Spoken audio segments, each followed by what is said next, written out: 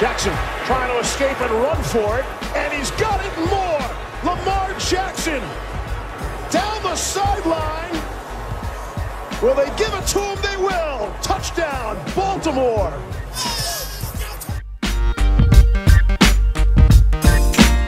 And with 117 left to play on Wild Card Weekend, the Hayes in the barn.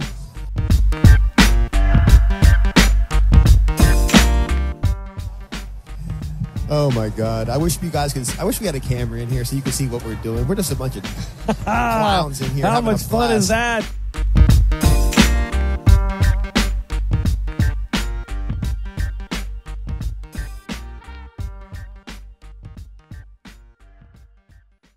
All right, welcome on back to another edition of the Baltimore Beatdown podcast. It is Friday, December 17th. My name is Jake Louque. I'm joined on my screen by Spencer Nathaniel Schultz. Uh, Thursday night football. We're both watching it. Chargers Chiefs, but we're here to talk Ravens Packers, I guess. How's it going, bud? TNF. It's going good. I'm doing about as well as uh, Terry Bradshaw's Peaky Blinder that he's rocking right now. God, Michael Strahan looks great. What a room that he has to himself. What a guy. What a what a legend. Recently retired number. But yeah, we're cooking. There's a lot going on. I feel like we're gonna have a fun episode or maybe fun, fun where it's always fun. But I think uh, we got a lot of like psychological deep diving to do based on just kind of the way things have transpired this week and some of the conversations that have been had and the twisted irony of kind of this purgatory that the Ravens are in, possibly without Lamar Jackson and things of that nature, COVID rearing its head, all those. We'll get to all of it. But, and then, you know, speaking of the old cowboy John Wayne, we got Kevin Costner, the younger cowboy or the more spry cowboy, John Dutton himself, Aaron Rodgers, AKA the immunized one, coming to town to kick the dog shit out of the Ravens and and sh- maybe maybe the Ravens what what what, what Vegas is going to make them a heavy favorite on the road. Um, so I don't I don't know. It's just like it's been a, a tropical hurricane, a tropical depression. It feels like it's turned into a hurricane of a season, and good old Johnny Harbaugh is going to have to weather the storm and lock up the doors and bolt down the windows and figure this out because it's a mess. It is a mess, and I, you know, I'm not any more comforted by the fact that uh, the Ra- the team that the Ravens literally just played is facing a situation that the Ravens essentially faced almost a year ago to this exact date, losing half their team to the COVID list. That would, of course, be the Cleveland Brownies, who are slated to take on the Raiders in Vegas on Saturday. They lost pretty much half their roster, including their starting quarterback, Baker Mayfield, and then his ostensible replacement in Case Keenum, Nick Mullens, the only other quarterback uh, on their roster able to go right now. So you got Baker Mayfield, who you referred to as some sort of spunky Jared Goff, uh, going after the shield on Twitter, uh, just emptying the clip uh, into uh, the weird processes that they're taking with COVID right now. So there's a whole discourse going on with Browns fans who are pissed off about the fact that this is going on. The Browns themselves seem pissed off about the fact that they're slated to play a game in two days. Uh, and I suppose I get that, but a lot of them are referring back to the Ravens situation that I referenced there with the Thanksgiving game and be like, oh, well, you know, if you're the Baltimore Ravens, then you'll get favoritism and you'll get the game pushed. It's like you guys can push the game as you know as many days as you want here, but uh, the idea is not to do so so you can get all your players back. It's to control the spread of the virus, which they did, and then the Ravens summarily trotted RG three out there uh, in the equivalent of a Viking funeral. Luke Wilson was like their leading tight end in that game. I remember Minkah Fitzpatrick prying a ball away from Luke Wilson in the back of the end zone. That was devastating. He caught that, they would have won. Yeah, possibly. And it was a funky game. Tyus Bowser making a play. I remember Bowser picks off Big Ben in the in the end zone, and he ran out like five yards and got tackled. And everyone was like, "Why are you?" I was like, "I'm still so happy about the interception. It's okay. Like, it's okay." Marcus Peters had it like on Wired. They're like, Marcus Peters like, "Yo, you got to get down." Like, blah blah blah blah. But it was uh, that was a fun game, and I'm uh, slightly removed here. I think I, I'm seeing on I saw on Twitter a minute ago somebody listed and said there will the Ravens and Packers could potentially be without nine Pro Bowlers in this game. Uh, I think they forgot to include Lamar Jackson. Oh, Lamar Jackson's yeah, he's Pro Bowler. Never mind. But it was like you know the Packers don't have Jaire Alexander, David Bakhtiari, Kenny Clark uh, tested positive for COVID, so he could definitely be out. And then I'm missing one. Za'Darius Smith, and then uh, Aaron Rodgers isn't practicing, Lamar Jackson isn't practicing, Calais Campbell isn't practicing, Marlon Humphrey's out. You know, all the guys on the Ravens. We don't have to go through that list. We've done it a thousand times, but uh, it's, it's just kind of kind of shows, and, and this might not be the, the best week for it, but it just kind of shows that in the NFL, you know, injuries aren't an excuse, and uh, you everybody wants to talk about their kind of top of the roster, you know, top 10 pick or first round pick guys, you know, the the loaded front end. Well, guess what? GMs should have more, I think, stock into their ability to have the right guys and the coaching staff to weather these situations. So I would say that comparing the Ravens and the Packers, two teams that, uh, you know, while the Ravens are trending downwards a little bit right now, they've found their first losing streak of the year through a tough time, but 18 combined wins between those two teams right now. And they have a, you know, weird synergy of being able to roll through and, and next man up and all that good stuff. So you can't always go take uh, the the injury bug and and throw the season away in that sense. But man, does it keep on pouring on. Yeah, I think uh, it was PMT that was saying that uh, Ravens fans can rest easy now that they have the uh, injury card to pull, which, uh, you know, I don't know if I'm like trying to pull that or like pull an excuse or whatever, but it certainly does color my emotions of following this team right now. You mentioned the word detached. There is a little bit of a, a detached feeling, I think, heading into this game because it's kind of just like, am I supposed to expect them to go out there and beat Aaron Rodgers? Like, I don't know if I am, but I don't think I do. So here we are. They are uh, going into this game as I think five and a half point home underdogs. I think the most under John Harbaugh since 2015, which was uh, the one losing season that he's ever had. So up the Steelers. Yeah, it's it's looking pretty pretty dire at this point, at least as far as this game goes. Uh, I would say that with all the insanity going around about COVID, one nugget that was floated out there was that the NFLPA was not only lobbying for this Browns Raiders game to be looked at, but for the entire league to look at maybe pausing for a week, which uh, I'm not saying I want that to happen necessarily.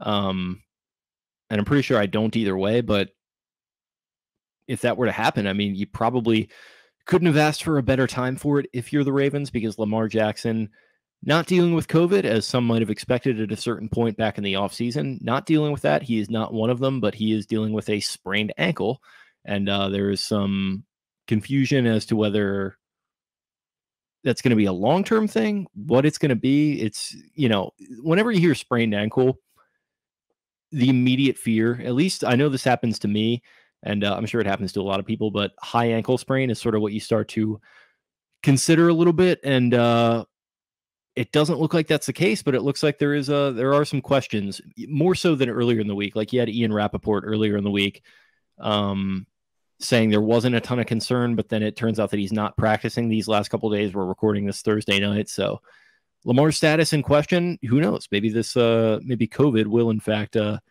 throw them another freaking bone here and uh, postpone the the this weekend slate of games. But again, I'm not sure I even really want that to happen. Let's just let's get through this season if we can from what I've heard and what you touched on, you know, they're going to do the whole asymptomatic, uh, able to get back out there with two negative tests as quickly as possible. So it's it's tough. Um, you know, players might some of I'm sure some of them are not happy about that. I'm sure many of them are, but it's the nature of the beast. I don't think COVID's going anywhere soon, unfortunately. So if you've got to roll with the punches here, it's uh, unfortunate and.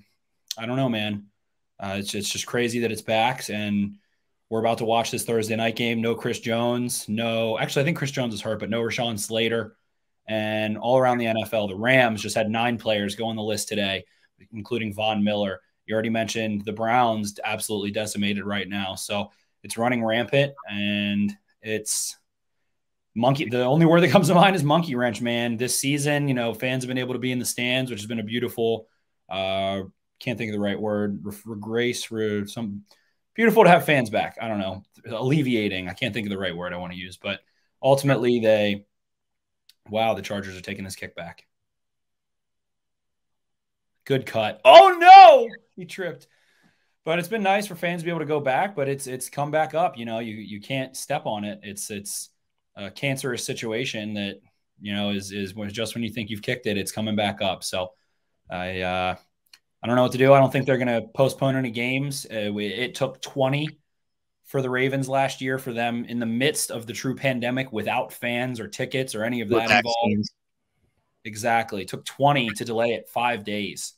Uh, and then there was the Titans Bills game, which was delayed or postponed. And, and that was an interesting situation. So ultimately, I uh, don't know what to expect in terms of the next couple of days. But again, in terms of, you know, guys, Nate McCrary, Chuck Clark, and Trystan Colon Castillo have all been added this week.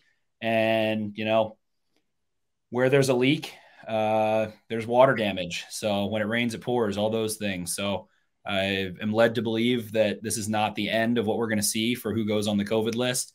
And the Packers have Kenny Clark on there, who is one of the most underrated defenders in the NFL, one of the best nose tackles in the NFL, one of the best interior pass rushers in the NFL. Whenever they don't have him, their run defense definitely suffers. And so, I, I mean, the immunized one playing and Lamar not, well, we can, we'll get into all that stuff, but it's just a very funny situation. And it feels kind of, uh, you know, you, you said numb earlier, removed. And that's how I feel about it. They're going to play a football game probably. There's probably going to be a lot of big names that we would have liked to have on the field due to injury or COVID, but it's not what we get. So this this season with another game added that we haven't even gotten to yet has uh, really beaten up on the NFL. So it's it's going to be whoever whoever comes out on top. I think you could kind of like the, the Mickey Mouse asterisk, whatever. But really, it's going to be in my mind someone who is able to endure a really tough situation, a really tough year in the NFL. And the fact that there was no real good training camp or preseason last year, a lot of injuries this year, a lot of players whose bodies aren't as calloused. And I think that uh, whoever wins the Super Bowl this year is is going to be legit, man. And looking like you know Bucks Chiefs could be a possibility, whatever it is. But it's uh, it's been a tough season, and the Ravens are at the forefront of the uh, indoor that they've had to put forth. Yeah, I think you talk about like talk about like facing adversity league wide right now with this COVID stuff, and I get that it's different than dealing with injuries, but you talk about a team that has just been absolutely just fighting every single step of the way, fighting against what feels like fate and just the universe working against them every single step of the way. Well, it's the Ravens and it's everyone else. I know their teams have had their issues, but nobody has been hit with injuries quite like them at core positions every single freaking week, it feels like. So they've dealt with that. COVID is kind of bucking its head now and, uh, you know, kind of once again and affecting these teams in different ways. But like, if anyone's to complain, and this isn't even necessarily a shot at like Baker Mayfield or whoever that's talking about having to play a game, but like, if anyone wants to like complain about the shit that they're have to go and having to go through, I think they'd probably first have to submit their case to the Ravens because it feels like, you know, the the rest of the league is kind of starting to maybe catch up fortune wise here with them at the very least, which is not much of a comfort, but uh, hey, welcome to the suck. Welcome to the suck. And yeah, I mean, this Packers game, if there's these COVID mutinies, you know, throwing a monkey wrench into it can uh, have some weird. A lot, of, a lot of monkey wrench call outs, and you're making me think of the Foo Fighters with those. Oh, yeah. Don't wanna be a monkey wrench. Exactly. That's what we need. That's the that's the kind of energy we need. We need Foo Fighters energy right now. Just got to keep on trucking through, but it's going to put uh, them in a conundrum, and there might be some strategic advantage. Otherwise, you know, this uh, the immunized one versus Tyler Huntley uh, could be quite ugly. But I, I think let's uh, let's let's go into a little bit more discourse because there's been some articles that have gone around, and one that I'd actually like to pull up and go through a little bit. So Steven Ruiz of the Ringer uh, had an article that kind of just hit on a lot of points that we've heard in in summary of uh, Greg Roman's offense, and uh, I think Derek Klassen from Football Outsiders touched on some similar things, and I think there's just been a, a ton of um, discourse overall about these two coordinators, and it feels like regardless of how this season ends up, the Ravens are going to see a, a pretty big overhaul or turnover in terms of coaching staff, likely in terms of in the trenches, offensive line and defensive line, with aging players on the defensive line, tons of injuries and weird situations that have panned out.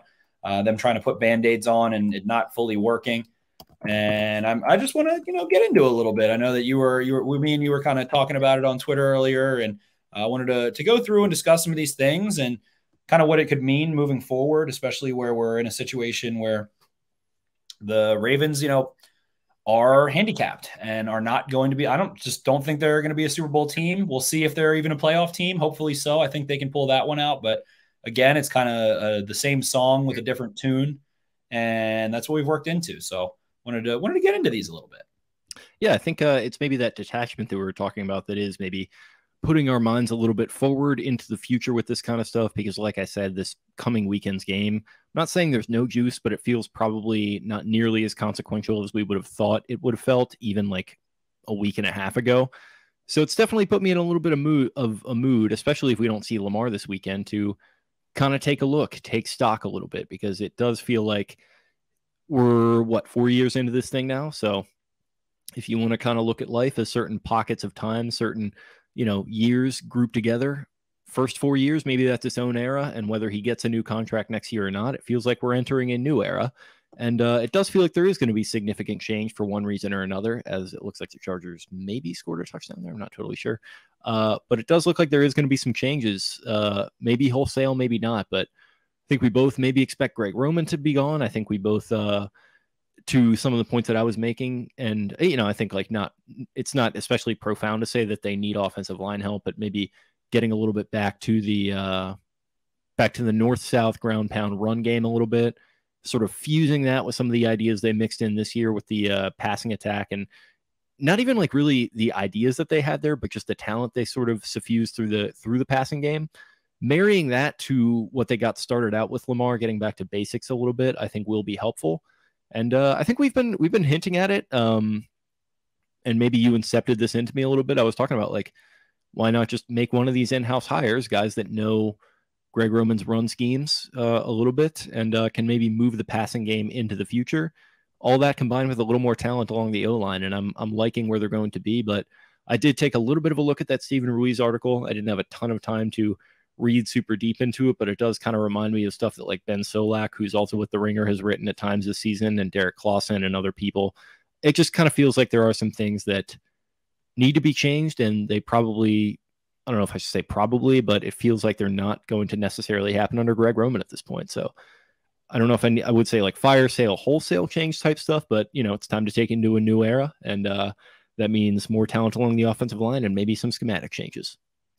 Certainly. So being able to have that three years in Greg Roman's system, you got John Harbaugh, you got and everybody the notion that John Harbaugh can't go whip it up and go on a whiteboard and give us five hours of knowledge is just asinine to me. To think that someone like him doesn't have a finger on the pulse of all the details, doesn't understand the play calls, doesn't understand even the, even the stupidest coaches in the NFL know that stuff like by to a T. Exactly. So I, I always scoff at that notion. I, I hate that one truly. Um, so Ruiz got into some things and kind of just talked about how Roman wants to go heavy, heavy personnel, tight ends, fullbacks, and wants to be able to run the ball and how, how creative he is in the run game, which he obviously is. And then he started getting into how that kind of limits the Ravens passing game, talking about jet motion and when someone comes in jet motion, they're not able to attack vertically, uh, which actually I think we've seen dispelled a little bit this year. But I, I, I saw some back and forth and people responding to it. So I was just curious uh, you know, a lot of people saying, "Oh, why is Rashad Bateman on the bench? Why is Pat Ricard on the field?" Instead, yada yada yada, so forth and so forth. And there's just so much that goes into these. And and Steven had a nice article, and it's really hard to have enough.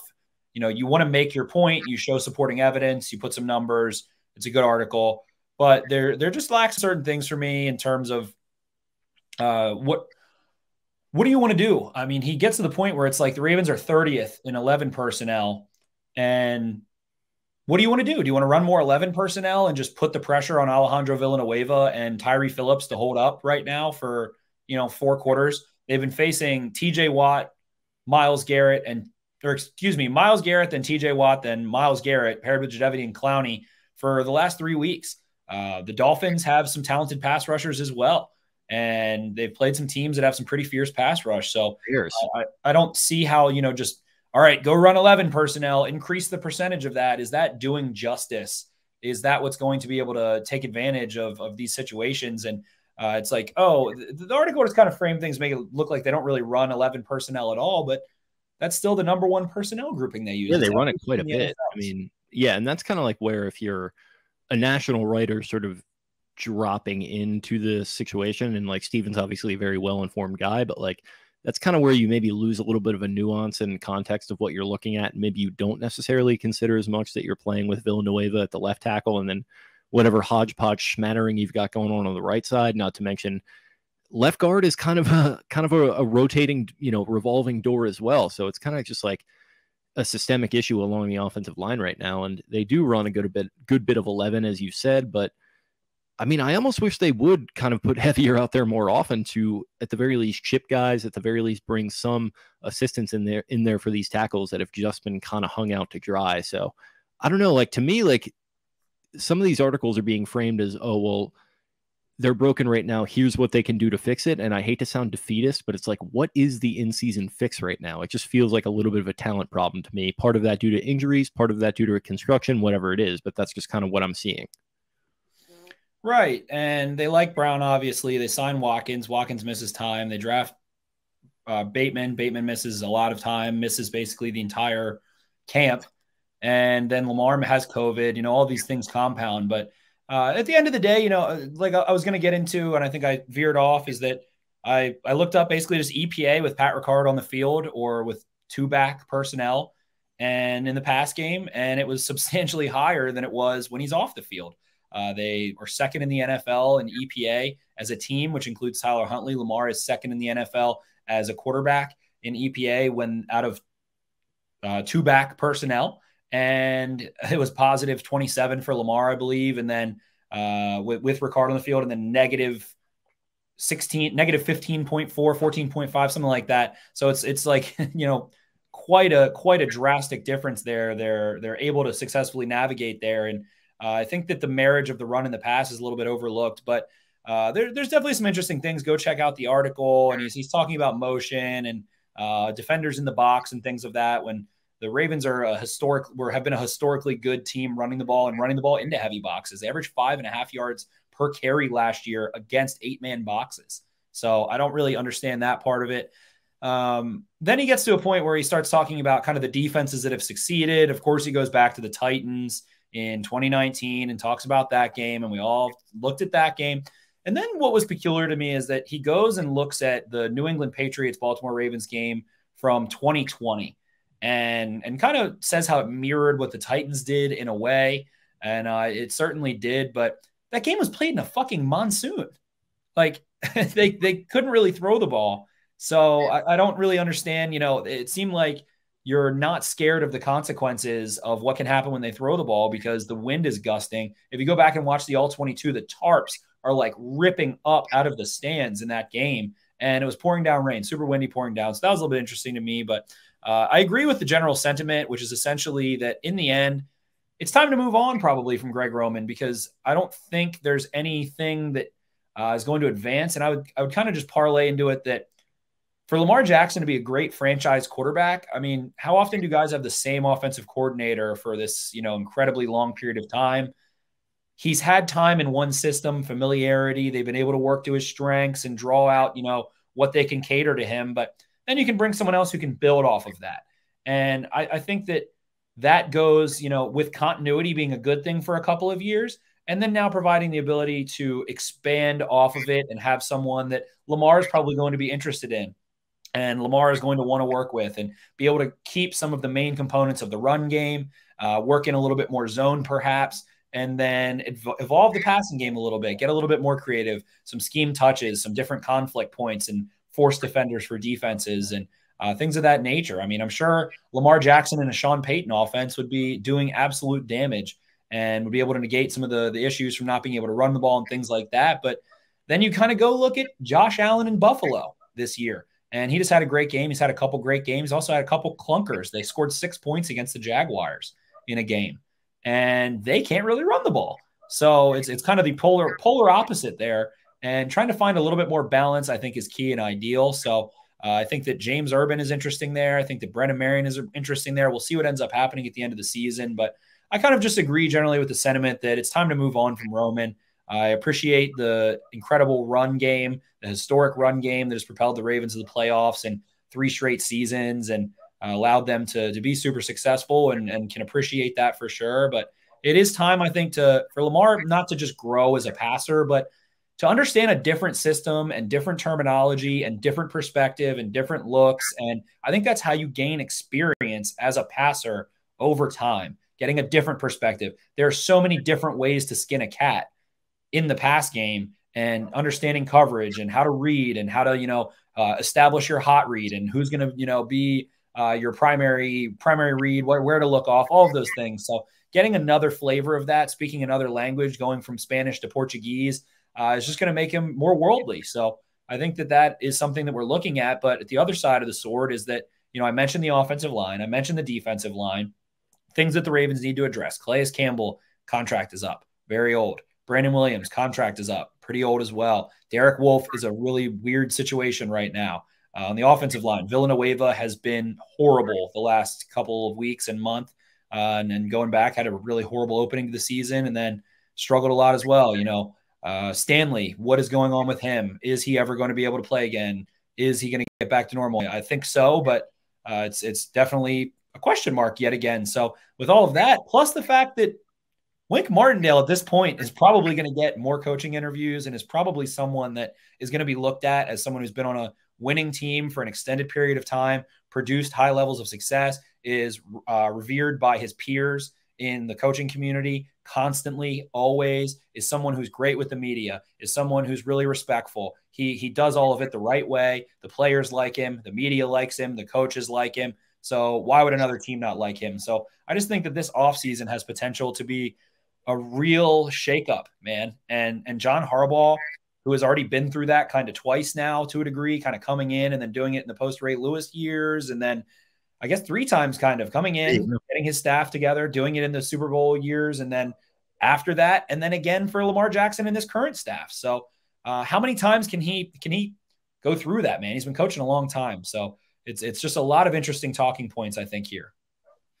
Yeah, I think, uh, I think you're right. And I think, uh, to all your points about Wink there, he sounds like an anti Urban Meyer who uh, got let go today by Jacksonville. So that was floated out there. And obviously, a lot of people, myself included, uh, in front of the show, RG3 uh, floated Wink as a potential candidate down there in Jacksonville. So that's going to be one spot that uh, we might want to be looking at. And he does feel overdue for a job. And it does feel like maybe maybe the the band is kind of just sort of naturally coming apart a little bit and uh, i think that's okay ultimately to your point about learning new offensive schemes and becoming more worldly in that way. I think there's room for an organization and young players on this roster to grow with some changes in uh, those other areas. So if they have some uh, young minds on the defensive coaching staff that they want to bring up, maybe a Hewitt or somebody like that, and then maybe if they want to go to one of these other guys on the offensive staff as an internal hire, maybe they want to look at a Brennan Marion who has done some great stuff with Kenny Pickett, kind of seemingly out of nowhere. That you know kind of speaks pretty well to me, and uh, you know the potential that he could have to come into this coaching staff in at least some capacity and help out. And uh, you've been you've been saying that guy's name since before anyone had any idea who he was. So I, I think I would like it just from the show perspective. Um, maybe it could just be you know it could be a good thing to just kind of turn the page a little bit and enter a new era. And it all kind of lines up perfectly because, like I keep hinting at, like Lamar's due a new contract and. There have even been some questions raised about what's going on with that, like with his recent play. And I don't think it should be in any sort of question at all. But just with the fact that it is ostensibly coming up, and I think it is going to happen this offseason, probably. And uh, if not that, then the next offseason, I think he's going to get it at some point. You're transitioning, and uh, instead of trying to paper over some of your holes or whatever you might have going through those, maybe it's you do the thing that Voss talks about where you kind of just turn the engine over and you take the year to sort of rebuild and get yourself ready to enter into that new year. Maybe that's going to happen next year, maybe the year after that or something like that. But it does feel like we are reaching a little bit of an inflection point, crossing a little bit of a Rubicon here. And uh, yeah, major change could be coming. But they're still they're still eight and five. I mean, which which is weird to even think about. Yeah, I don't I don't think that it's like a rebuild or having to turn the engine over. I mean, it's a John Harbaugh football team and the irony of these conversations with Lamar Jackson and the contract are just so reactionary and uh, nearsighted, I think, a lot of the time where six weeks ago, pay him a billion dollars, you know, pay him everything that Mahomes gets. And then today it's like, well, should they resign this guy? It's like, how about you go somewhere as usual in the gray area instead of the white or the black area and in the middle, a Josh Allen type deal, four, five, six years, you know, 200 some odd million that that team's not going to lose games. Lamar Jackson's not going to lose games like at a at a crazy rate. And when I say rebuild, I'm sorry to cut you off, but I do just want to make the point. When I say rebuild, like with this coach and quarterback, they can win 10 games every single year for as long as Lamar is effective.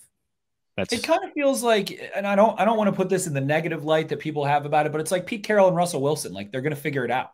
They're they're yeah. they're gonna be able to win games. They're gonna be able to beat a lot of bad teams and be able to beat a couple of good teams every year. So exactly, like they're gonna be a double digit win team with Lamar and John Harbaugh uh, at this point, unless you know something crazy happens. They'll do it this year in the most difficult year possible, where it's post COVID. There's COVID going on right now. Um, you know, maybe they only win one more game, but I, I have a feeling they're going to be able to squeeze out two more here.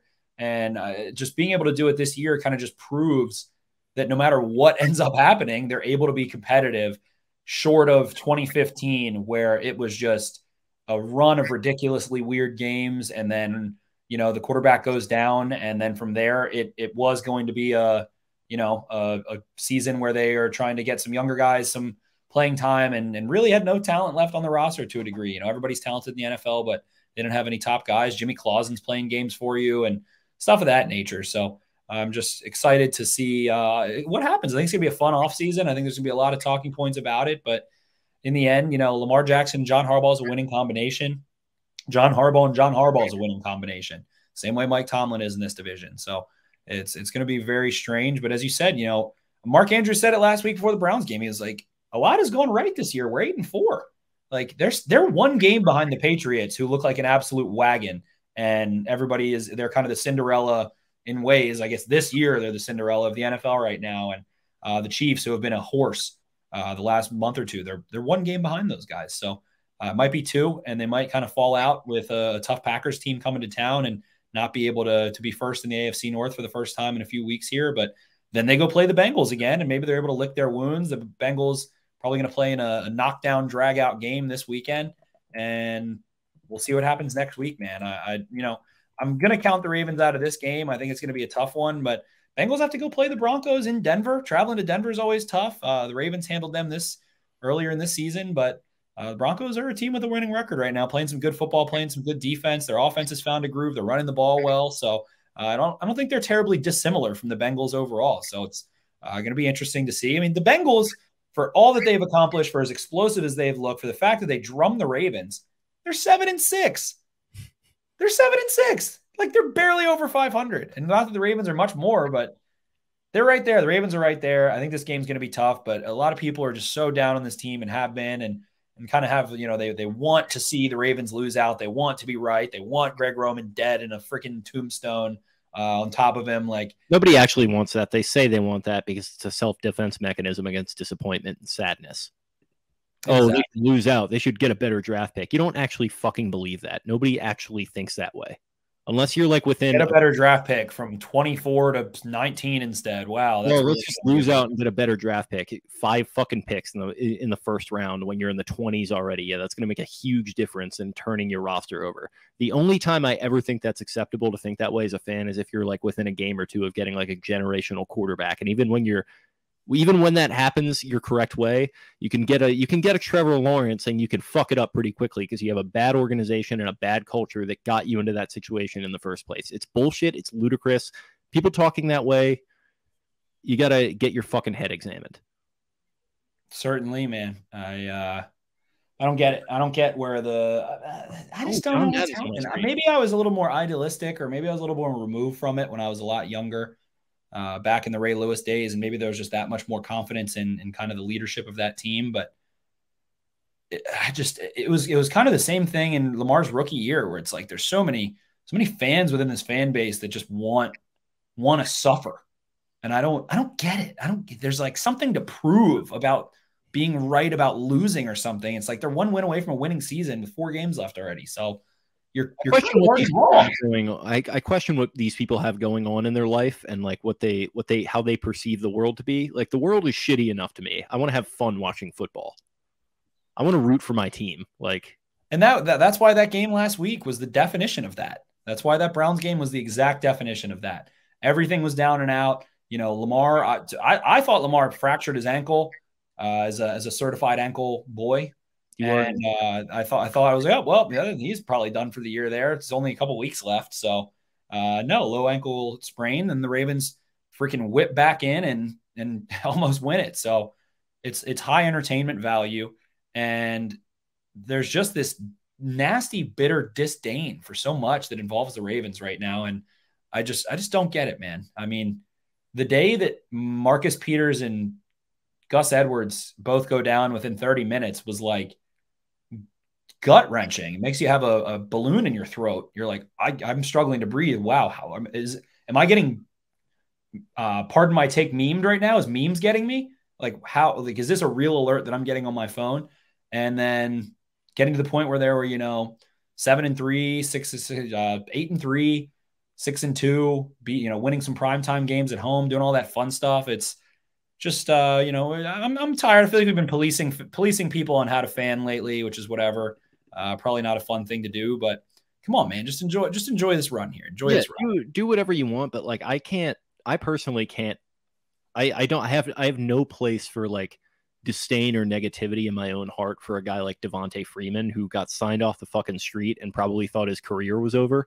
And then he goes out there behind this offensive line and is playing as hard as he is and like making the plays that he is.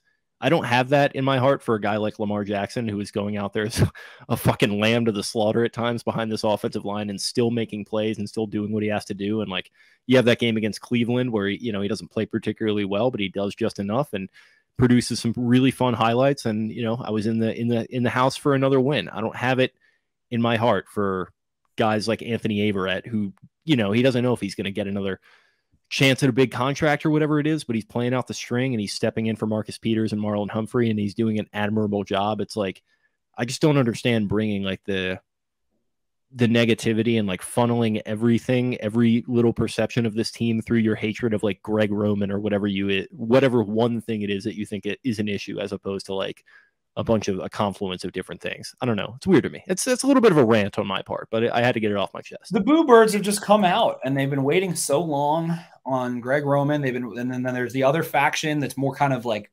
national. Uh, the the takes of Lamar Jackson struggling are finally here. When six weeks ago he was on pace for like six thousand yards almost. He was on pace to break the through like eight games. He was on pace to break the NFL yards per game from scrimmage record substantially. And it was, you know, Lamar's great, everything's great. Keith Williams and Tee Martin are the reason why this offense is doing well. And everything's dandy. The Ravens are so good. John Harbaugh, coach of the year. And then in a in a tough stretch of a tough season with a lot of guys on IR, where they're still winning some games, they go to Chicago and beat a you know Bears team that's had a couple wins there. The Bears beat the Bengals. And, uh, you know, that's why we say it's a week to week league, but they were able to go there with Tyler Huntley and go win that one at the end. And uh, I guess people are just kind of getting hyperized or uh, super magnified into the fact that these games are so close. And it's like they almost would rather be able to just like watch the Ravens get blown out and give up on their Sunday than like get really emotionally hyper and driven and want to, you know, have something to to take away from it. And it's like, man, the fact that they almost won is the crazy part, not the fact that they barely lost, considering the circumstances. So uh, it's it's just been a wild ride this season, and I think a lot of people are just worn out by it already, and uh, are kind of like can't take it anymore with how many close games they've played. Yeah, it's definitely it's it's really tough for them. So I, I want to extend my most heartfelt condolences and apologies for having to sit through this, and you know maybe maybe we as a fan base will get lucky and we could root for like an Urban Meyer led team or something next season. Exactly. So at this point, um, who knows? By the time this podcast comes out tomorrow or today on Friday, and there could be eight more Packers on the COVID list. There could be five more Ravens.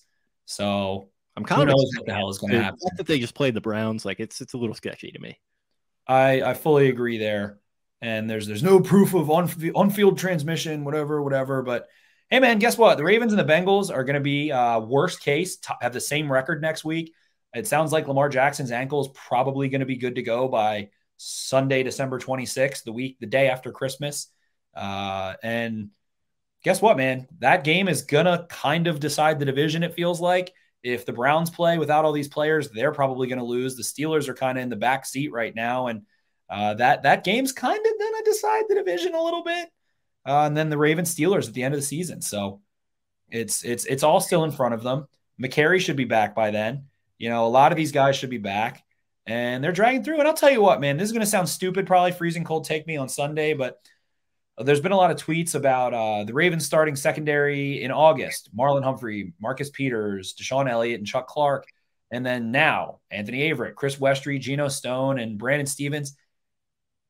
This is stupid. The other, this the August one is fantastic. All pro players, you know, highly paid starters, great, talented guys. But I think those guys can hang a little bit, man. I don't know about with the Packers, but Brandon Stephens, Anthony Averett, uh, Geno Stone has been showing some closing speed and some smart plays a couple times here and there. Chris Westry, Wink was talking about him at the podium, saying how well he tackled. And uh, I think, you know, if he had a couple, he could have picked two balls last week. He kind of got that offensive pass interference situation. And it's a guy who's had two starts in his career, I think.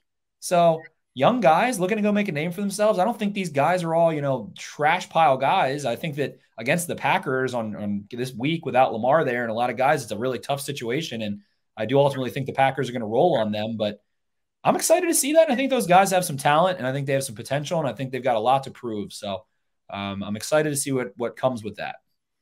Yeah. I mean, that's why they drafted Anthony Averett in the fourth round a couple years ago for a situation like this. I mean, he's not a he's not a no-name guy. He was starting for the best football team in the national country. champion college. Yeah, he won a national championship. Like you know, he's he's got some pedigree, and these other guys too. I mean, Geno Stone, like he Iowa, that's no.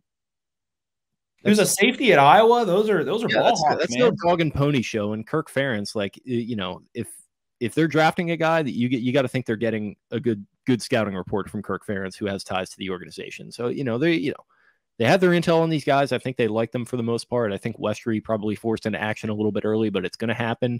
Brandon Stephens was a was a third round pick for a reason. Like these guys, you know, maybe they're not ready for Davante Adams to your point, but you know they could, they could probably hang a little bit, play to play, hold their own, maybe let a few big ones through. But they had already been doing that, frankly. So right, and the Packers don't have Elgton Jenkins, who for my money is one of the top five or ten offensive linemen in football. He's still out. They don't have David Bakhtiari, kind of similar situation to Ronnie Stanley. And I would also throw Taylor Lewan into there, who has continued to play but really struggled. So uh, they're they're not without their guys, man. They they or I guess they are without their guys. I misspoke, but they have a lot as well, and they do have the immunized one, and he's fucking slinging dough as usual. All but one year this year where he ends up being injured and, and getting a coaching change, and you know those two things might have gone hand in hand to a certain degree, but it's uh, it's an example. These two teams are examples of resiliency. There's three of their really four of their like seven, I would say, most talented players. They're without Jaire Alexander, Za'Darius Smith, David Bakhtiari, Elgton Jenkins. That's that's a that though all four all of those guys could go on an All Pro team any of the last couple years, and and you wouldn't be surprised. So uh, it's it's going to be a, a, rare game, and I, I feel like this is kind of where the the the wheels come off the wagon without Lamar here a little bit. Uh, I think Huntley's a capable dude for sure. I think the Ravens think the same thing, but playing Aaron Rodgers, I mean, you in order to beat him, you got to really play a damn game, really from start to finish. And I think the one area that's a little bit weird right now, and where a lot of people are looking, are on special teams because the Packers is one of the worst in the last like five years. This year, they had a living shit show against the Bears on Monday night. Was that Monday night? Sunday night, pardon me. And Ravens are one of the best special teams in the NFL every single year. They are again this year. I know that the uh, Packers special teams coordinator was talking about how the Ravens are the gold standard and what he wants to achieve, and all the Packers fans were shitting on him for saying that. So there could be the the equalizer there a little bit. Special teams, the one of the three sides of the ball, and uh, this could be the week where it makes a difference. Yeah, definitely. Um, what do, what do we make of Aaron Rodgers' uh, fake Southern accent? He's been in a cold place for a long time. I think it's more just like a like a draw. It's it's yeah. not like a southern draw, but it's just like a you know I've I've been living in the a little bit draw there, a little bit uh, watching Lamar Jackson out there on the field while I'm here on the Pat McAfee show. Uh, like to appear on podcasts, although I haven't appeared on my close personal friend Joe Rogan's yet. Uh, but yeah, I've, I've been immunized. There, there's just a little bit of a twang there. I don't know fully what's going on, but he's from like Northern California. So what are we doing here, Aaron? Well, so J- Josh Allen's from NorCal too, and he he kind of has that same ordeal going on. They're they're, he just sounds like a generic like white dude in his mid twenties. I feel like Aaron is really kind of hamming it up at this point. Uh, Like I Oh, think really? Aaron sounded that way before. Aaron's got long hair, man. He's out in Wisconsin in the freezing cold. Is he He smoking so much weed, Aaron? I think he is a I've bit. actually been on uh, ayahuasca. I actually did a little bit of a uh, ayahuasca ceremony uh, over the summer, and that uh, helped me to get back to where I need to be as a player. I feel like uh, all these injuries I've been suffering, I actually don't feel pain anymore after that ceremony. It's been uh, an interesting transition. So, as to whether or not I've contracted COVID, I do not know because my body does not react to pain anymore after the uh, ayahuasca that Ron White and I took down in in Mexico. So. Ron White. Um, yeah, so he's the gunslinger, man. I think he's got a little bit of a. Of, I think he's got a little bit of a right. If you're in, if you're in Green Bay for two decades almost, He's definitely more of a real cowboy than Big Ben. I'll say that because he's he's growing the hair out and he's he's doing the weird drugs and he's he's you know he, he's, there- a, there's he's a northern cowboy. He is. There's a little bit of Hollywood in Rodgers. I know him and Clay Matthews used to have the uh, "Who's More Hollywood" joke. Um, He used to have the short, spiky hair, and the, his eyes used to look a little bigger. yeah, not so much recently because because a lot of the shit uh, that's been going on. But uh, I, I grew up a big Aaron Rodgers fan, so I, I'm at the very least an appreciator of what he brings to the table. One the, of the, the most beautiful thrower of a, the Aaron Rodgers throws a football the way God intended. Yeah, but like in a way that, in a way that like mo- other people can't. Yes, exactly. That's exactly it. Like he is the chosen one in terms of ball placement, ball talent, all of those things. Watching him throw the last time he was in Baltimore, geez, man, what was it? 2000 2013. 2013. Yep. Uh, wow. Dallas Clark one-handed uh, touchdown grab. And the Ravens played the year he was hurt, which was, was I guess was 2017 against Jordan Love. Or no, not, not Jordan Love. uh, Brett- Hundley. Hundley. Yeah. Was it Brett Hundley? Yeah. Yeah, Brett Hundley. Like, Mike Wallace had that weird touchdown catch. that Uh, sneaky one hander. Yeah. So, um, but yeah, it was Baltimore 2013 then, and that is to this day, to this day, the most beautiful thrower of a football I've ever seen. The way the ball was whistling. had a deep cutting shot to the Jordy. Nelson in that game, who was just couldn't have been more wide open. I think he like just completely burned Lardarius Webb. Um, Jordy Nelson was happened. sick. But I'm excited to see that, man. I'm excited to see that again. He still has it. He's still ripping and dipping, and he's got the long hair now. He's a little different. He's, you know, got the got the, the crows on the corners of his eyes, the crow's feet, and Jalen Woodley. Exactly. He's he is he is what Big Ben thinks he is. Yeah, I, I think that's kind of what we've been circling around here, and that's we can pretty much nip that in the bud. I think uh big well, I think Big Ben sees himself as a little bit more classical. I think Aaron is kind of a, a new age sort of cowboy. Like Aaron would be in the modern He's like an Elon Musk cowboy. for sure. Um talk about Teflon though. So you know, eh, there's there's a lot of layers. I think we're getting closer to it. We're trying to unpack it a little bit more. Um Aaron's kind of Aaron's like a cocaine cowboy in the 80s. He's running with the cartels. He's like an extra in No Country uh, in the group of guys that dies at the beginning. Spoiler. Uh, maybe he's one of those guys. I see a little I see a little Javier Bardem and Aaron Rodgers. I'll say it. Yeah, as far as like play style, that might actually be a pretty good comparison. Although I think I've made that comparison to Mahomes, maybe. And who knows? I, Pat Ricard, even I made that comparison. So I don't remember that, but that's Yeah. hilarious. I actually I tweeted a picture of because eh, Pat tweeted like a picture that I Hubbard or somebody might have taken of him that he just looked like a complete menacing badass in the Bears game, and I tweeted like the the Anton Chigurh picture next to it, and then like Lacey DaCosta like tweeted at me scariest movie ever, and she did one of the little emojis. I was like, that's pretty funny. That's that's adorable. That's outstanding. I have no recollection of that, and I'm happy that that happened.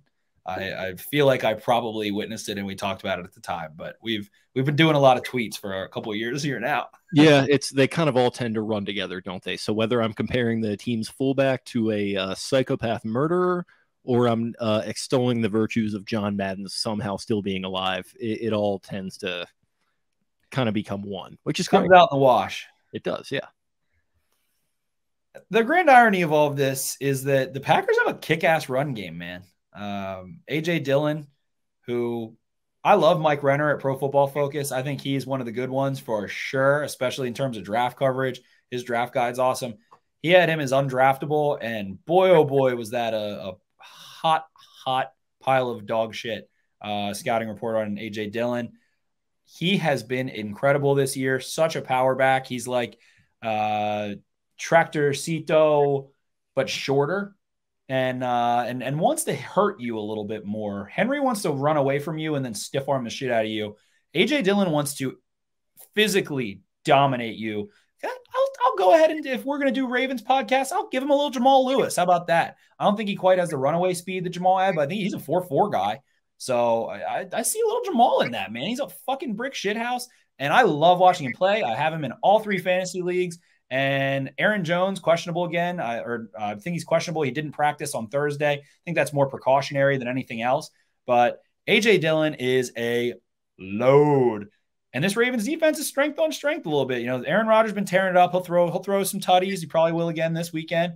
But elite run defense, elite run offense. The Packers do some great things. Aaron Rodgers makes some great run checks, and I'm excited to watch that battle uh, take place. I, I guess Calais Campbell's probably not going to be able to play in this one is what it's feeling like. So we're going to get to see Broderick Washington, who, my God, had a kick ass game. Justin Madubuike had a kick ass game against the run. Josh Bynes making some crazy plays. These outside linebackers as well are warthogs on the edge right now. Bowser, Houston, Jaylon Ferguson made a couple plays, and of course, Odafe Oweh are diminishing the soul of tight ends and some tackles on the edge and what they're doing. I think Justin Houston got asked at the podium a little bit about it, and it has been kick ass, super stellar to watch in the run game. The pass game, probably going to get crisscross uh, applesauce a billion times by Aaron Rodgers on these tossers they like to run and some of these, you know, uh, zone beating and and uh, man switch forcing plays. But ultimately, I'm really excited to watch the Ravens front against this uh, beating up Packers front. It's the same thing like I mentioned earlier. Bakhtiari out, Elgton Jenkins out, so they're trying to make do as well. And I think the Ravens are going to be able to uh, stifle this Packers run game a little bit, and they're going to have to rely on some quick passing a little more so and do some interesting things. So I, I, I feel like this Ravens offense is probably going to struggle a good bit, but I don't think the defense is going to be that outmatched.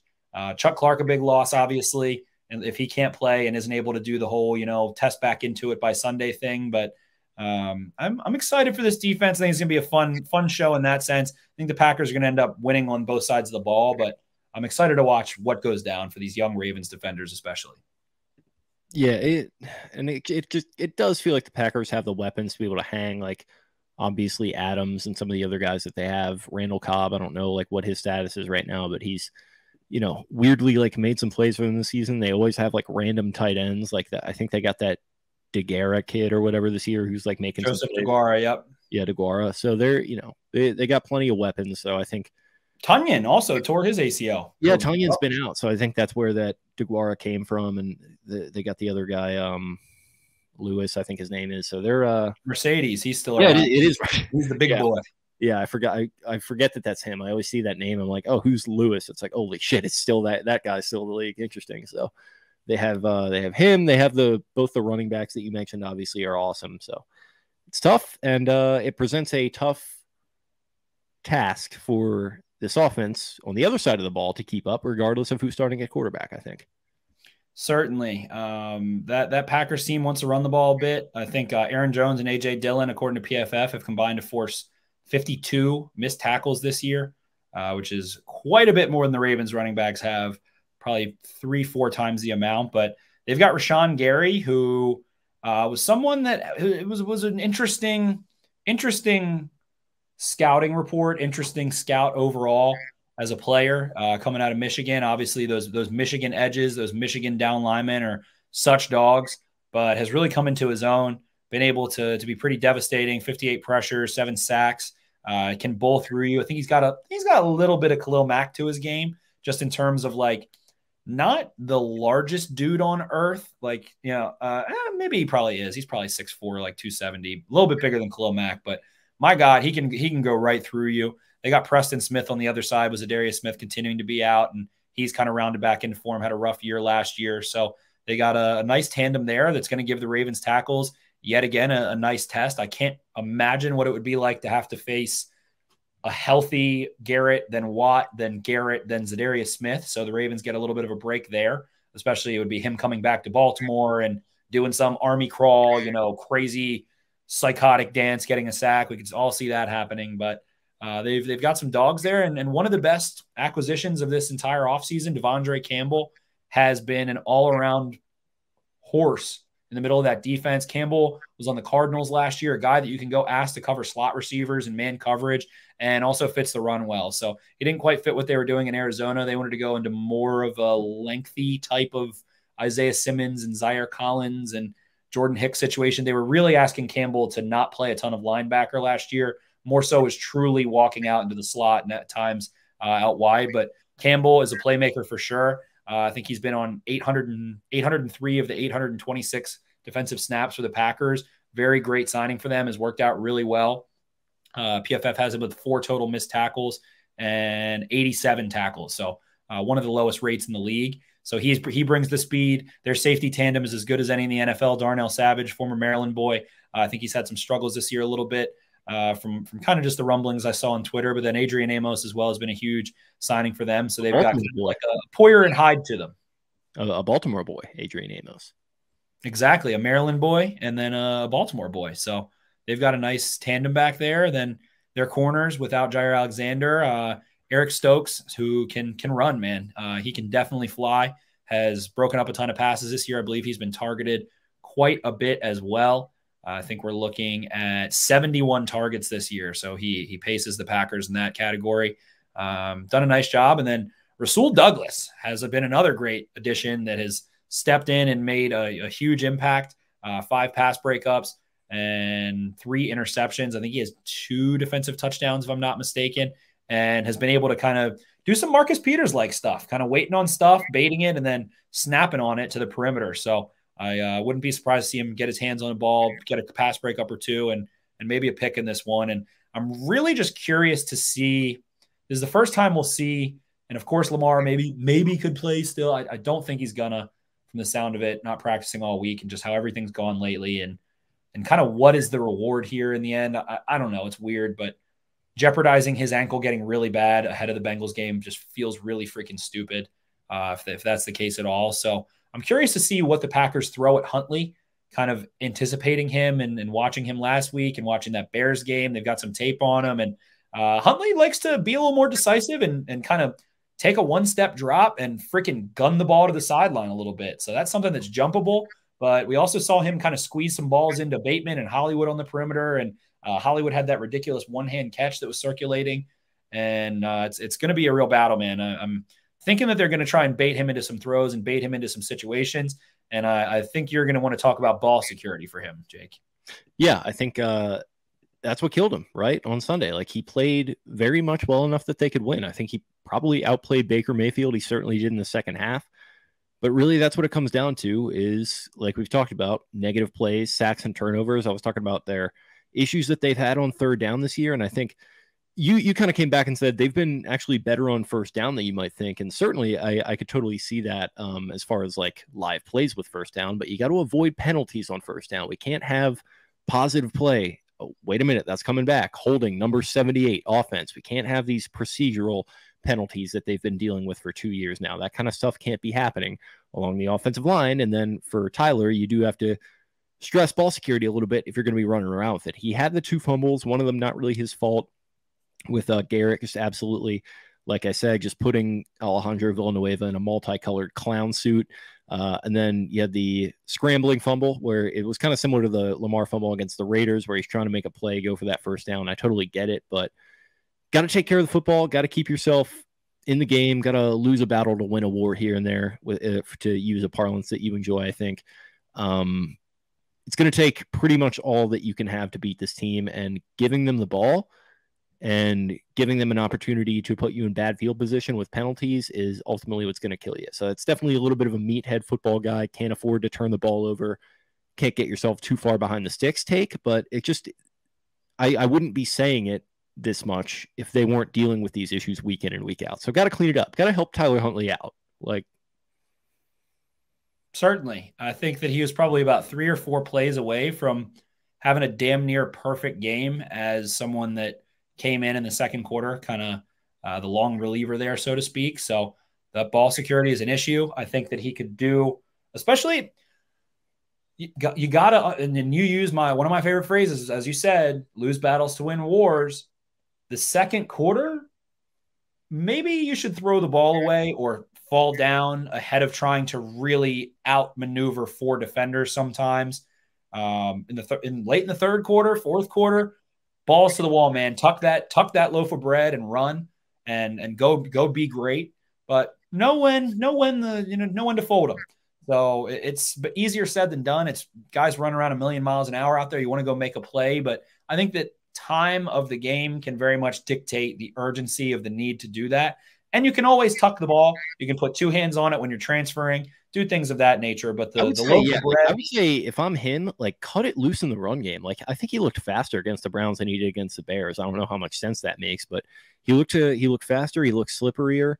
Um, he just looked a little bit more comfortable in a lot of different respects. So I think to what you were kind of saying there, like absolutely, you know, secure the ball down and do what you have to do and stress ball security, stress getting two arms around it, but also like use those legs and going back to the other point, like use them to, if nothing's there, fuck it, scramble forward and get three or four yards and put yourself in second and six. That's a lot better than taking a sack or throwing the ball away and being in second and 10 or second and longer. Like, you know, just just let it slow down for yourself a little bit. That's probably easier for me to say than uh, it would be for him with you know Rashan Gary and all these clowns chasing after him. But uh, who knows? It, it, you know just something to keep in mind.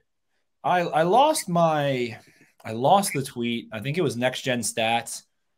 Basically showed that of course the Packers blitzed. I want to say, please don't hold me to the exact percentage, but 57% of Justin Fields snap uh, dropbacks. I can oh I can look this up myself in Pro Football Focus.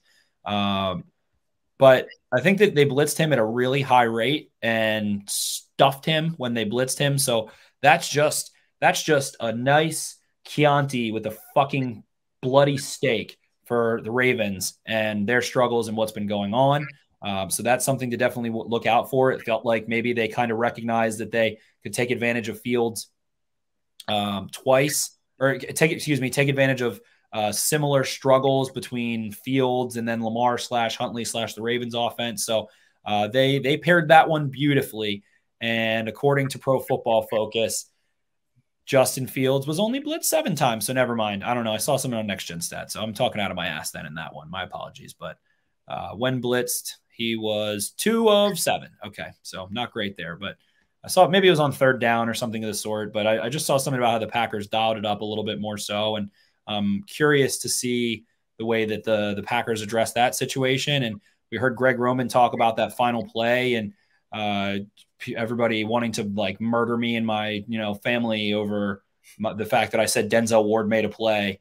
Now we kind of get a hint that um, maybe it felt like my uh, listener Tim there. By the way, I, I I got a I got a good laugh out of that. Which is it? The Virgin like screaming like, "No, why would you call a play short of the six? And the Chad Denzel Ward made a play. Yes. Which yes. kind of looks like you, that Chad, I think. I think that's what that meme format is called. Yes. I believe that. Yes, exactly. Like uh, the, it, you're supposed to be like the uh, wise, the wise douche. Yeah. yeah. So, uh, yeah, exactly. But I'm just, just quite curious to see uh, how, how things play out against the Blitz continuing there. It feels like, again, you know, everybody wants to say that there's not the beaters they're there. You just have to make it happen. And uh, there's there's so much that can go. We don't need to talk about that play, but trying to think of like, all right, maybe Mark Andrews can execute a rub a little bit better than James Proche can in that situation. Uh, maybe there'll be a little bit more attention and and trying to do some of these Darren Waller, Hunter Renfrow, Travis Kelce, Tyreek Hill kind of stack situations and, and play off of that a little bit more so. Um, so just being a little bit smarter with the not the personnel itself, but kind of the layout of the personnel and some of those things I, I think would be a takeaway here. Uh, they they trusted James Proche to go, you know, rub in that situation. It looks like, and wasn't able to execute. And uh, I mean, all pro player made a play, but the the Packers have two really good safeties, man. Um, Adrian Amos, really smart. Darnell Savage, freakish athlete with a ton of range, ton of speed, can can come and hit. And it's going to be a gonna be an interesting game. I'm I'm just curious to see Huntley, a player who has I don't really think put the ball through the air in a lot of jeopardy uh, in his snaps that he's taken this year, or really much at all. Seems like he's kind of decisive and and puts some heat on the ball a lot of the time and drives the ball confidently, knows where kind of these soft spots are when guys are playing off. So uh, again, I, I, see Rasul Douglas trying to kind of jump some of those based off of what I've seen the last couple weeks with him, and I think it's going to be a chess match here, but it's it's going to be a tall task. And again, Kenny Clark is a huge loss and is going to take a lot of pressure off of the interior offensive linemen, especially in terms of pass rush, especially four man rushes, where they're going to be able to spread out and uh, fan and you know do some some half man or some slides and be able to help out with the tackles. So uh, curious to see in this one how things pan out and I uh, I don't know. It's it's it's going to be uh, an interesting, interesting, interesting matchup on that side of the ball. And I just really would have loved to see Lamar Jackson play against this defense. I know he's not ruled out yet, but I'm not holding my breath on that one. How is this game going to pan out? I think that the Packers are going to be able to sustain some some nice drives there. Uh, Aaron Rodgers, to this point, I believe has continued to kind of light stuff up uh, in terms of his touchdown interception ratio is going to be great. He can push the ball downfield. He can, you know, manipulate the defense so that Davante Adams, someone we haven't even really mentioned that much in this episode, can straight up light you up. And I'm I'm very curious to watch that transpire. I don't know how you're going to be able to prevent a guy like Davante Adams from getting the ball. He is cooking corners went in too high. He's cooking them in man and zone. He's so smart. So I, I just don't know uh, how you're going to be able to hold Rodgers down. Looks like his his uh, big time throw percentage from PFF six percent. He's had 26, had uh, four in two straight games. He's had eight of those in the last couple weeks. Uh, Rodgers 27 touchdowns, four interceptions. Man, he has this toe injury, and over the last four games, he's had uh, at least 292 yards in each of those games. Uh, he's hitting a, a, pretty high rate of yards per attempt, and all those good things. He obviously is very, very difficult to sack. Uh, taking a couple sacks here lately. I know Robert Quinn got to him, so maybe we see Justin Houston try and take advantage. A somewhat similar rusher uh, is able to kind of get quick a little bit, and maybe Rodgers is a little bit hobbled, but uh, sacked, sacked three times or more in one, two, three, four, five games here, and a couple more two sacks. Been sacked in every game this year. So Wink Martindale said it best. You got to make him sore when he leaves the stadium. He's got to be sore on Monday morning if you're going to try and uh, beat this team. So I'm not sure how it's exactly going to go, but I anticipate them being able to manufacture a couple touchdown drives. I don't think they're going to score any less than, you know, 17, 20, 24 points. And uh, I don't know that the Ravens are going to be able to conjure that up in a Lamar Jacksonless offense, but uh, I think this Tyler Huntley kid's at the brink of, and, and, for people listening, pardon my take, they always talk about, you know, fake an injury when you're a backup quarterback who has a good game, fake an injury, and you'll make four million dollars a year for the next 10 years and probably won't have to play more than one or two games over the you know over a two or three year span there. So if huntley is legit at all this is the game that proves it. If he is a legit player in the nfl um, I'm, I'm curious to see how that pans out but i just think that the run game is going to be complex. They're going to try and take advantage of no kenny clark. Uh, they're, they're packers are losing their player that has the most pass rushes by over 80 of any player on their defense and a really dynamic uh, nose tackle. So that's a huge loss to them. I see some complex runs being available. Packers have some some good play from Campbell and Gary against the run and some different things, but ultimately feels like the Packers can probably put up one, two more touchdowns than the Ravens can. And the if you want to knock Greg Roman, man, in these crucial situations of these two point conversions and some of this, you know, goal line stuff, um, that's eh, we've seen the vault. We talk about the vault. We joke about the vault. Du- Duvernay's getting some touches. They're doing these uh, draw counter plays with little 180 handoffs and 360 handoffs, and have had some nice runs they've gotten out of those. But I want to see the run game in the red zone and in the goal to go, man. I want to see more, you know, on the eight yard line, able to hammer it in in a run or two. Uh, some of that stuff. So I think if the Ravens have a path to winning, it's really establishing themselves on the ground. Latavius Murray being able to kind of be that zombie shark that I like to describe him as and cut through the the holes there and see if Bozeman and Zeitler and uh, maybe maybe perhaps Ben Cleveland pay, plays in this one. Ben Powers with a foot injury and hasn't practiced, so uh, curious to see if if he gets inserted and if they can't kind of knife up and combo block and run some counter and run some power and go go make this Packers defense pay a little bit, maintain some possessions, keep Rodgers off the field, and if you want to beat him, you got to get pass rush. But Davante Adams probably going to light them up. Um, they have creative play ways to get other guys the ball. Aaron Jones and is, is definitely a major factor in their pass game underneath, and you'll kind of see those guys end up on the same side of the field sometimes. So I just for Tyler Huntley to, to go out and beat Aaron Rodgers would be truly a spectacle to behold, considering that would put the Ravens at nine and five, and considering the state of the Ravens in this season and the injuries and the COVID and all that stuff. But I uh, think if there's a game for the Ravens to to kind of get rolled on, it might be this one. Yeah, maybe it will. So, are they going to get rolled on? Let's go with uh let's go with a bit, man. Uh, Andrews, Bateman, Hollywood, Duvernay can make plays. Uh, I think they can maybe score a touchdown or two, kick a field goal or two. Um, so I, I, think that the I think that the Packers are gonna. It probably looks somewhat similar to what happened against the Bears, but the Ravens' defense is schematically just more solid and uh, is better against the run and can can hold things down and out a little bit more, uh, even maybe without Chuck Clark. I don't I don't think we're going to see a 40 point Packers performance, but I think they can probably score 30, and the Ravens probably can't score more than like 20. So I've I've tried the last two questions here to tee you up to give me your actual prediction, but I just I can't get it out of you. I don't I don't know. Well, that's because you go first, dude. I, I I know, but I was trying to. Okay. You go first. You're not gonna get. You're not gonna. I'm not gonna do what everybody thinks I'm gonna do. Freak out. Not trying to brag. Not trying to get a laugh. Not trying to give them their worst day on the job. But do any of these fuckers? Um. Okay. Packers 31, Ravens 23. Let's go Packers. Packers 28, Ravens 17. Packers okay. ice it in the fourth quarter, kind of handle business a little bit. Uh, I think Ravens probably face like a big deficit again at some point. Shaking Bacon, Rashod Bateman makes some plays. Mark Andrews makes some plays. Huntley makes some plays, turns the ball over a couple times. And Aaron Rodgers is just too good. Unless that toe is getting worse and worse, who knows?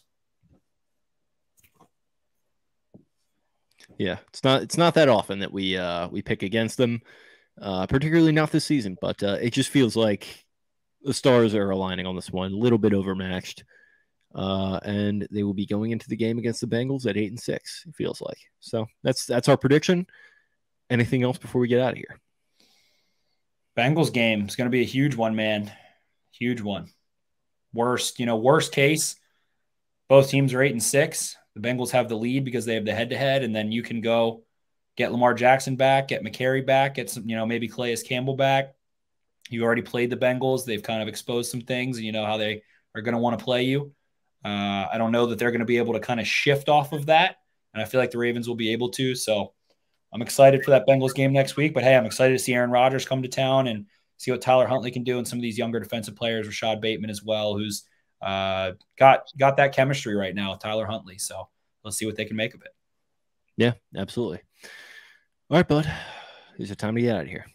It is indeed. Make sure to well before Christmas, Christmas coming up, the Zoo Boot wallet, our good friends over at Zoo Boot 15% off of these beautiful aluminum RFID money clip and wallets with a beautiful finger slip. Podcast Beatdown. Again, that is Podcast Beatdown at checkout for 15% off. You can customize them, make them in anything you want a holiday special, a special occasion, or just a cool design that you like. You can put any kind of Ravens picture on there you like. You can do whatever you want with them. So, great gift, great stocking stuffer, great for someone who uh, needs to up their wallet game, get something that they might like that's like metal and kind of subtle as well, not real flashy or anything. So if you've got kind of that that gritty dad or grandfather, and uh, they got the old beat up bifold, go check out Zooboot, our good friends there. Uh, podcast beat down for 15% off. They've got some great holiday specials going on as well. So go check it out, enter that code, and go get yourself a nice stocking stuffer up your own wallet game if you want. Up your wallet game with Zooboot. Thank you guys for listening. Uh, as always, um, like we said throughout today's show, a little bit of a weird spot to be in the season. So if you're still in a headspace to be consuming Ravens content, we appreciate it. We hope we are uh, providing you with therapy or we're whatever ombudsman you might need to uh, get your head in the game. maybe you totally disagree with us, in which case that's totally allowed too. But uh, you know, we're just we're at where we're at. You're at where you're at. It is what it is, and it's not what it's not. But uh, Ravens got a game this weekend against the Packers. I know they're not going to be giving up. So as fans, let's not give up either. If you can go to the game, go to the game, have fun, and embrace the embrace the grind here. Only a couple games left in this 2021 season, which is weird to say. And who knows what's going to happen. But uh, until then, it's been a fun episode. It'll be a fun episode no matter what happens next time we get in here and uh, chop up the game for you on uh, presumably Sunday night. But uh, until then, thank you guys for listening. Follow us on social media at Podcast Beatdown on Twitter. You can find me at Jake Louque. That is L O U Q U E. You can find Spencer at Ravens Four Dummies. That's the number four. And get at us on Instagram as well at Baltimore underscore Beatdown. Thanks again, guys, and we'll talk to you later. See ya. Arrivederci.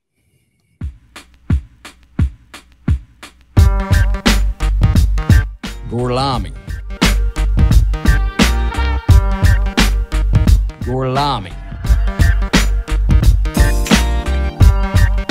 Arrivederci. Arrivederci. Arrivederci. Arrivederci.